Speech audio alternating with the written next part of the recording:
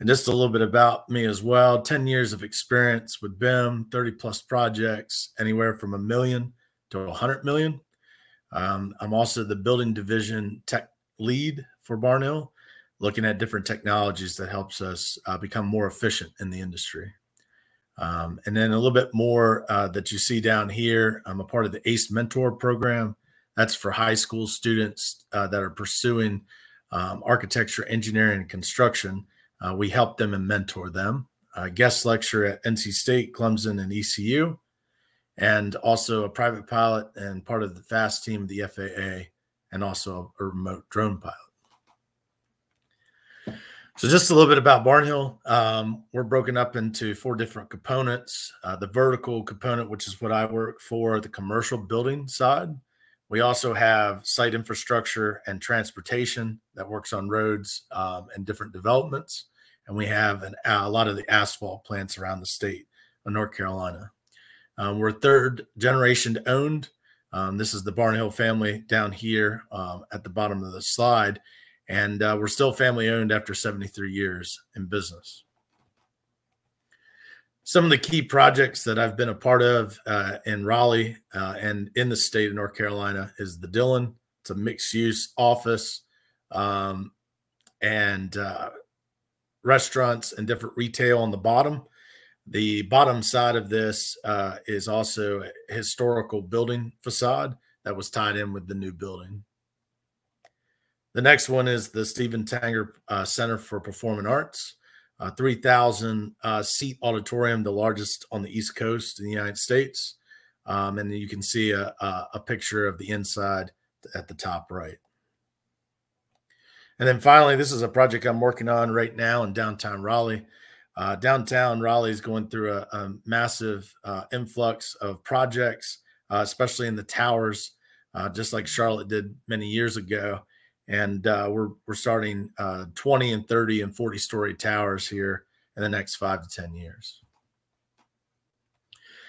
So one of the things that I wanted to talk about today in uh, general is constructability and this idea of how we use a building information model to try to go through that. And uh, this diagram does a really good job of, of showing that um, from the beginning of a napkin sketch all the way until we get into operations and using that model to be able to um, make decisions and become more efficient um, in the industry that we work in.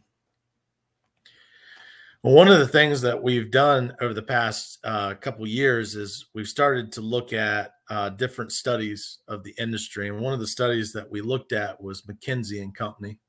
And they did a study that looked at technology um, in the construction industry and how that ecosystem works. And what you're seeing on the screen is is uh, a very small part of that study, but it really started to break down where we're at in the industry and, and where we're going. And what you're seeing in the study is it's broken up into different groups and colors. And you can see that uh, with the legends down at the bottom. But the main focus of this, I wanted to make a point here is, is the more connections that you see between is the more inoperability that has been developed within the industry. I think one of the things that we've done is we've we've got a lot of great technology that's either here or is coming in the present or in the future. But now trying to connect that is, is going to be the component that we're looking for and trying to help us. I mean, that's what you're seeing here in that study. And from that study, the five trends that we see here in the United States um, are these five. Um, higher definition of surveying and geolocation, bringing that to make better decisions in the BIM world. We've been limited for a long time, especially here, to just focusing on trying to solve the building components. But now we want to look at it more holistically and see how the general site ties into it. Uh, digital collaboration and mobility, going from a paperless uh, construction world to more of a virtual and then into the field augmented world, which I think is a major component of trying to get quicker um, with our industry as as as it's uh, becoming more apparent that the industry is starting to increase uh, with the amount of projects that we have to do and turn over in a short amount of time. Uh, the Internet of Things, anything that's making intelligent asset management or decision making easier, is going to be a big component. Uh, 5D and 4D uh, with um, either scheduling, tying into it, or estimating is, is going to be a major component. And then finally, future proof of design and construction, as we're starting to see a massive change back to more of a, a integrated project delivery or design build um, as we move into the future. And this next uh, increase in the industry, that digital construction um, or industry 4.0 is, is what we're trying to, to review. So what we did is we formed a committee um, on the building division side, and, and we're doing this at a company wide, and we're looking at the technology that we currently use, um, and, and if we're being efficient or there's something better out there to become better of how we do our work uh, but also looking into the future and how it's going to impact uh, our industry. And and that's what you're seeing here is some of the big areas um, that we that we'd be looking at or the industry is looking at as a whole, especially here in the United States. And so what we did is is we wanted to uh, take um, coordination to a different level, and and Revizto was one of the products that we looked at, and you can see as part of this industry landscape, there's different insight ventures that we look at. Uh, Bain Capital Ventures and CB Insights are two that I look at a lot, and there's many others that I look at as well. And they started to break down some of the different, um, you know, hardware and software in the industry, and who are kind of the leaders. And when we were looking at something to become more collaborative between the design the contractor and the subs, we, we really thought the Revizto was a, grow, a good um, step in that direction. Um, you know, acknowledging that there's still a ways to go, but uh, definitely leading the industry. And so that's what we did. We took that information and we broke down all the softwares and hardwares that we use um, in the in our company, and kind of took that big circle that we started with and broke those down to the things that we use uh, every single day. And that's what you're seeing here. But the focus I want to focus on is, is Revizto and, and then connections into Procore and how we tried to run a job from the uh, constructability phase and then into uh, coordination and closeout. And you know the definition of constructability is basically buildability, and it's that project uh, management technique that we review a construction process from beginning to end. And one of the things that we've uh, struggled with in the industry is getting all the people that you need with all the right experience in the same room, but also looking at the same set of information. Um, because once you do that, uh, you have the younger generation that has that um, technology based education, and you have the um, the older um, bringing in that experience, you really can identify obstacles um, that a project has. And not that we haven't done it uh, in the past, but it be, it's becoming much more um, important to do it with technology and try to uh, resolve some of these errors, delays, or cost overruns that we're seeing within the industry. And that's what we did. We started to put together a process um, of how much time it needed and who was going to be involved, what technology would be a part of that. And we went from all the way from the beginning when we pursued a project all the way until we bid the project and then in construction until it was complete. And we looked at the different timelines. So we looked at the different components, site work and structural and building envelope and interior architecture and MEP and fire protection and we broke that down into three different components deliver, review, and incorporate. And each of those different phases of SD, DD, CD, and bid, we go through this process of trying to comment on how we can solve these problems uh, before they become problems in the field. And so, one of the things that we follow, uh, Jason J, uh, G. Smith, um, his company's Principal Construction Analysis LLC, we follow his five rules of constructability. And first and foremost is we create the project as a team and we avoid focusing only on the problems. It's easy to point out to a design team some of the challenges that they have in their design, but not just pointing them out, but giving them real uh, focused ideas on how to solve them. Uh, two, review the interface of the systems because uh, typically the issue is not directly where the conflict is, but something much deeper. Three, keep the evaluation of the documents constructive. Uh, we have a, a challenge in this industry as contractors to blame everything on designers. Designers have everything to blame on us, and then subs blame everybody. So it's one of those things where we're trying to stop the blame and trying to become more constructive and trying to solve these things before they become problems in the field. The fourth rule is stay focused on the important items. Sometimes we get bogged down on secondary items that don't really matter unless we solve the big items first.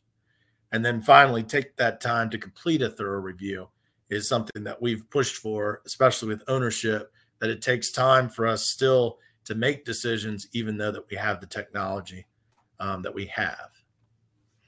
And so we created a checklist. And with that checklist, we can take that into a software and the drawings, and we can start to break this down into things that are either complete, incomplete, or not applicable for the project. And then we can give remarks and comments back to the design team. So that's what I want to kind of go over at a high level. Um, some of the projects I'm going to talk about is, and at different stages that we're working with Revizto um, and using Revizto to help solve some of this constructability um, and these meetings that we review with the design subs and uh, the owner. This project here is a project called Durham ID, and it was a project that we built uh, a few years back. And uh, one of the challenges that we have is that it's now technically an existing site and but we're building a new parking deck that's going to integrate with the uh, with the old parking deck and the buildings that we built a few years ago. And one of the things that we wanted to do was work with the client um, that we had originally worked with and tried to figure out how we were going to connect this new um, parking deck while it's an occupied parking deck and an occupied building. And that's one of the things that we use Revizto to do a design review to see what the uh, the the conflicts may be and started to solve some of those those challenges. We also started to help us plan um, when we go to do this in the coming year to make this connection to the old deck. The second project is at the University of North Carolina, Chapel Hill, and they're building a new School of Business addition onto the old school business. So taking from what we did for the parking deck at Durham ID, this took it to a different level in constructability because we had to not only connect the new addition to uh, to uh, to a parking deck that's existing, but we also have to connect that with the existing roads, with two new bridges, and then a new terrace that connects into the old McColl building that you see on the right hand side. So a really complex project uh, with a lot of logistics and and complexity to it, and we're able to review this um, in a in a collaborative environment uh, between the design team, some of the consultants and subcontractors to try to plan this job effectively and give comment back to help this project move forward. Another project is uh, the 203 project or 203 Greensboro um, that we're building in uh, Carrboro. And this is a really tricky project due to the fact that it's surrounded on all four sides with either residential, business, or NCDOT road. And one of the things that we really wanted to focus on in this project uh, was the site logistics component of it and trying to work through the different bodies of the city and the town um, and and local government and also uh, the NCDOT with uh, transportation and trying to make sure that as we were going through the process of planning this that everybody understood how the project was going to be built. The other thing that we looked at as well is we had some rock challenges up in Carrboro Chapel Hill area and we noticed that throughout the design that some of the utilities were going to be into that rock. And one of the challenges that I've, I talked about just now is that we're surrounded on all four sides. So there's very little wriggle, uh, wiggle room um, to work with any sort of blasting. So we really worked with the design to move a lot of these utilities above that rock layer so we didn't have as much um, rippable, uh, or excuse me, shot material versus rippable material.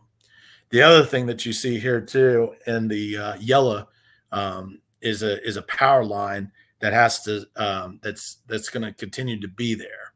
We were able to de-energize that with Duke Energy uh, for the project duration, but when the project is complete, that line will still be uh, in service and active.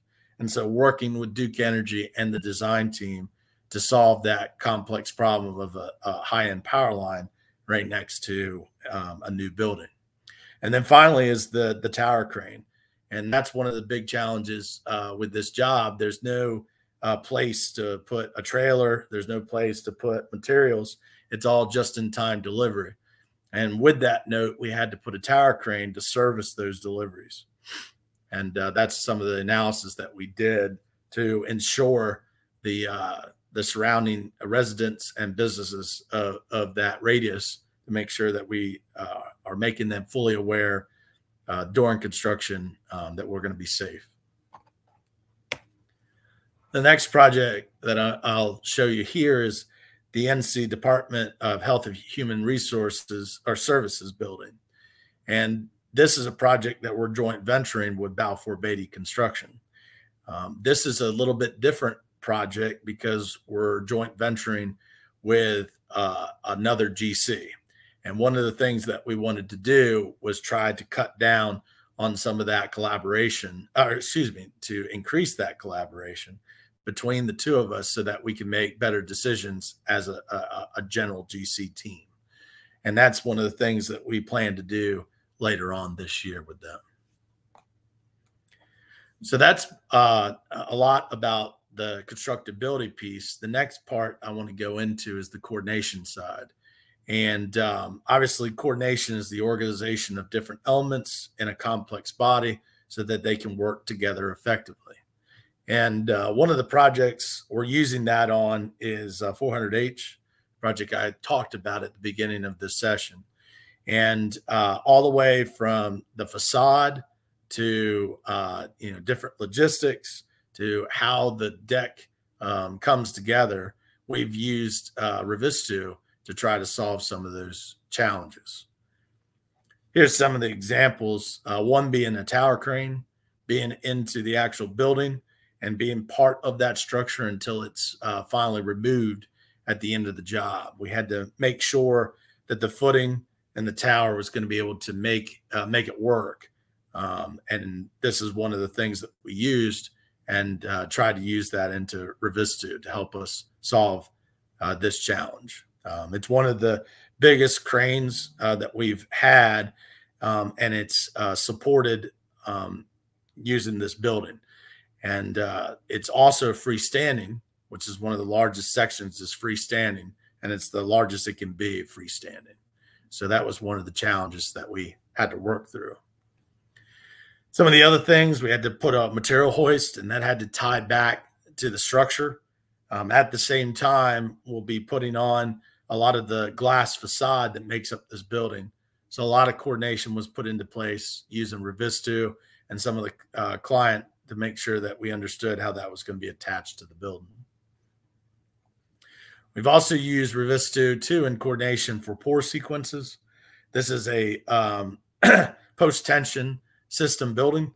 So there's a lot of planning involved and trying to understand how those pour sequences are going to be poured and the different sleeves and different um, MEP systems as they pass through these different slabs each of the different slabs actually has to be pre-coordinated before the, the pour occurs.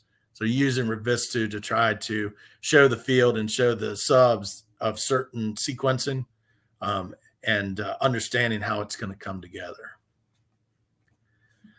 The other component of that was looking at a floor, the ninth floor, which had large uh, girder beams that uh, had to have um, penetrations horizontally through them and uh, that's one of the big challenges with PT is is trying to fit some of these sleeves through uh, through that PT strands, and you can see that at the bottom left hand corner. And what we had to do is we we spent a lot of time in coordination trying to move these sleeves around to service the different areas of this building, but also had to be very aware of where that uh, those sleeves were going to be to not impact uh, those uh, strands. And if anybody has ever worked with post tension systems, you'll understand that if, if you break one of those cables after they've been pulled tight, um, it's kind of like the world's worst rubber band. It blows out, and it's it's really devastating um, to the to the system. It loses strength, but also can cause a really bad safety situation for the project. And then finally, the last project that we've been uh, using Revizto on is uh, is a project called the Watt Center, and we're using this now for installed work. And uh, what you could see on the bottom right hand corner is just some of that um, that work. And uh, one of my colleagues, Lee Winstead, is on this project as a, a project uh, engineer of sorts and helping as a VD, uh, VDC or virtual construction engineer to help them uh, construct this building. And what he's doing is is tracking the progress of that ductwork as it's being installed to make sure that what we he uh, what we had coordinated is is what's being installed in the field. Because that's the next challenge of coordination which we feel like Revizto is helping us out a lot it, and it will continue to is to make sure that what we install in the field um, is what we coordinated. Um, and that's the whole point of coordination and then in the back side of that really inspecting that and making sure uh, that that process is being followed. So I hope this is where we get to, and we really believe that Revizto, including a lot of other programs, um, will be able to help us uh, because with Revizto we can bring in drone information, as you saw, laser scan information, uh, model information from different authoring tools but also taking that to the next level and trying to tie that in with AI and and um, you know constructability and and then facility management.